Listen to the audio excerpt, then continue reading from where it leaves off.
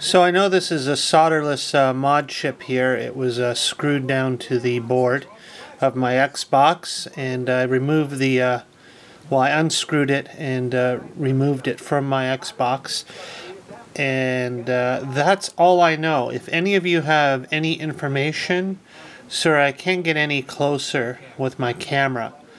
Uh, but if you know what type of mod chip this is, um, if it's a specific mod chip or if it is uh, a compatible mod chip with a certain make or brand, any information that you uh, mod uh, experts can give me would be appreciated. Links, information, uh, etc.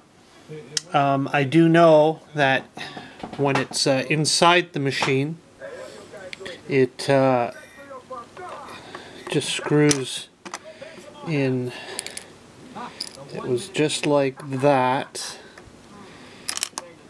and screwed down into place and it does uh, when I boot up it gives me uh, uh, an alternate dashboard that allows me to um, load emulators and stuff like that. It also loads backups, uh, games recorded to DVD-R. But that's about all I know. I don't know um, anything about this chip, its full capabilities, um, what else I can do with it or anything like that.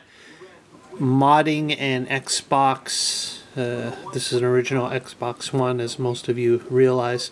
But any type of modding or anything like that, I have no information on. I had bought this machine off somebody else who had uh, already modded this unit and had this chip inside.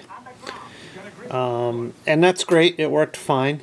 Uh, I, I, am putting an upgraded hard drive again from a third party uh, into it it's a bigger hard drive. It has coin ops installed, and uh, that shouldn't be a problem booting it up. But uh, I was just curious about information on this uh, chip here. So, if any of you recognize it or uh, know better than I do, here, I'll try to get as close as I can.